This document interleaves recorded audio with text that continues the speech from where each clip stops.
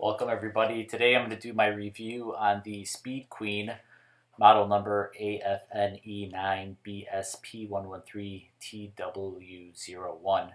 This applies to basically all front load Speed Queen washers. They made a few different variations of them.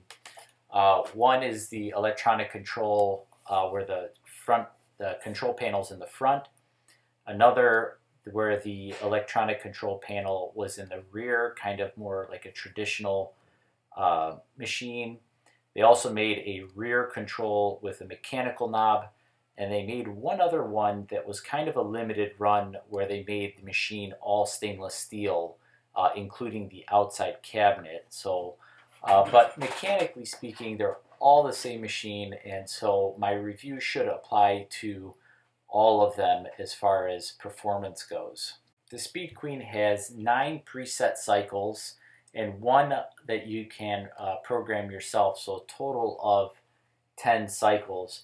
It weighs about 275 pounds and it is equipped with a 0.9 horsepower variable speed induction motor. It has a max spin speed of about 1200 RPMs but uh, Speed Queen likes to go by G-force. It pulls an amazing 440 Gs of extraction power. Now, a lot of manufacturers don't um, use the term Gs, but let me tell you, in my experience with these machines, I mean, you basically have to get a spatula and scrape your clothes off the side of the tub. I mean, it really spins them dry. So spinning is definitely not an issue with this machine. It also has uh, four soap compartments. One is for pre-wash, main wash, bleach, and fabric softener. This machine does come with Speed Queen's legendary five-year in-home parts and labor warranty, which means if anything goes wrong with this machine, they will come out and fix it free of charge. Everything about this washer is super heavy duty, including the coilover suspension, Drain pump is super easy to access and lasts basically forever. Uh, if you ever get a clog, it's super easy to clean out. You just simply remove the bottom cover and clean out your clog. This is the motor control unit, aka the brains of the machine. Uh, very robust design. Speed Queen makes the best electronics. I mean, their stuff really lasts forever.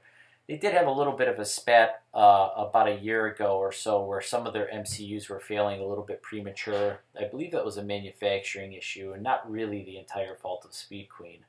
But they quickly got that resolved and uh, most people have been chugging along uh, with no repairs whatsoever. Towards the back there, you'll see the uh, 0.9 horsepower. It's almost a full horsepower electric induction motor. Uh, it is variable speed and it has no problem muscling that tub around. Moving along, you'll see this huge outer balance ring. And Speed Queen actually did something pretty clever with their machine. Uh, aside from the external front weights that they have, they actually have a balance ring inside the spin basket that is full of ball bearings. And this is a similar technology that was used in truck tires and it really helps to smooth things out on this uh, particular machine.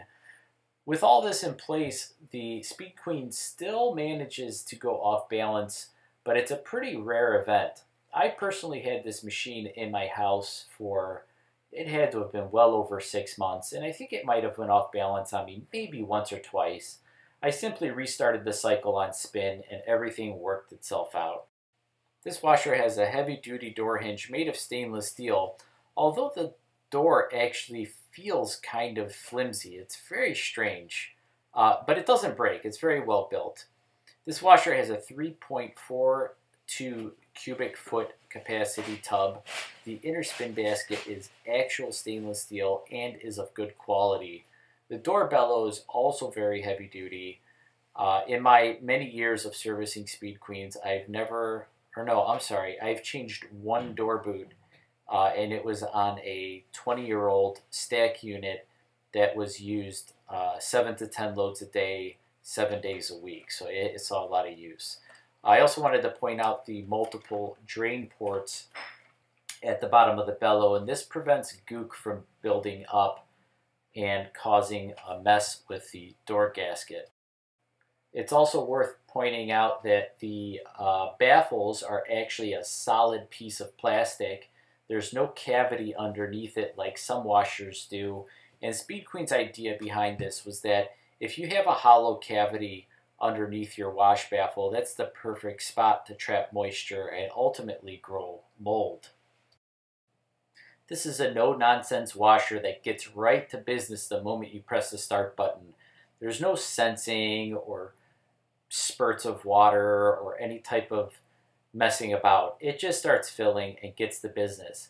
That's why you're able to wash a load in as little as 26 minutes if you use the quick cycle. Huge loads are not a problem with this machine. Just stuff it all in there and let it rip. That's what this machine is actually designed for. When you go to the laundromat, you're not looking to wash one item at a time.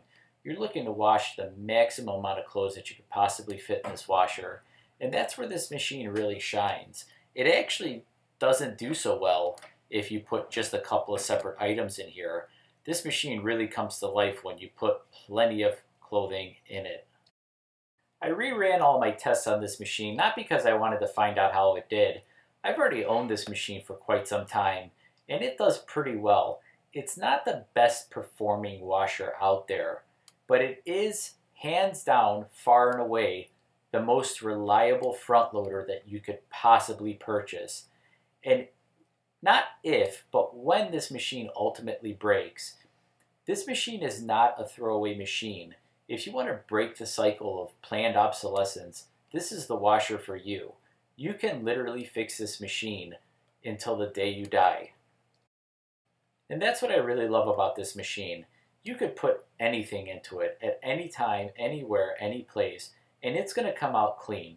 Now granted, this is not the best performing machine out there. I think that there are some machines that actually have a little bit better wash action than this machine. But this machine will just run and run and run. And it'll get your clothes certainly to a respectable level of clean. Now let's talk about the drawbacks. The first and most important is that this machine has been discontinued you have until the end of March 2018 to find and purchase this Speed Queen front load washer for yourself. They stopped production at the end of March, and whatever's out there is all that's left. I don't know what they were thinking when they decided to discontinue this front load washer. I mean, I know. This is a really expensive machine, and that leads me to problem number two with this machine.